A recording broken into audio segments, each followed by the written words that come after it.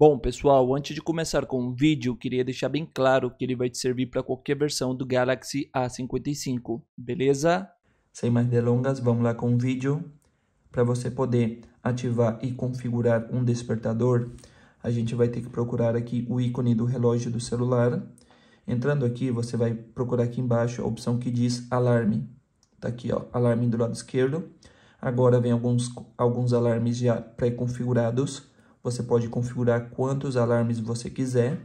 E para configurar um novo alarme, você clica no botão de mais aqui, escolhe a hora que vai tocar o alarme. Aqui você marca os dias da semana.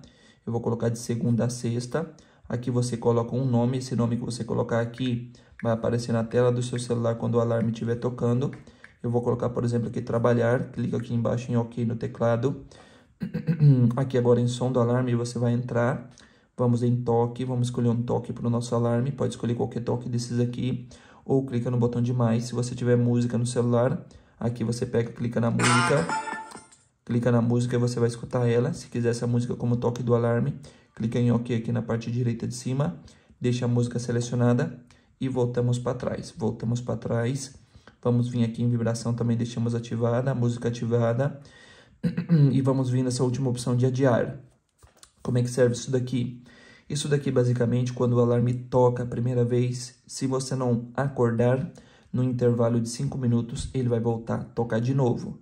Beleza? E quantas vezes ele vai fazer isso? Três vezes, cinco vezes ou sempre. Se você colocar sempre, cada 5 minutos ele vai ficar tocando. Tocou, você não acordou, daqui 5 minutos ele volta a tocar de novo. E volta a tocar de novo, até você acordar e desativar o alarme manualmente, beleza? Então, bom, voltamos para trás. Aqui é só clicar em salvar e deixar ativado. Se você quiser deixar ele ativado, ele só vai tocar nos dias e na hora que você selecionou para tocar. Mas eu gosto de sempre, todo dia pela noite, vir aqui ó, e desativar ele manualmente, beleza?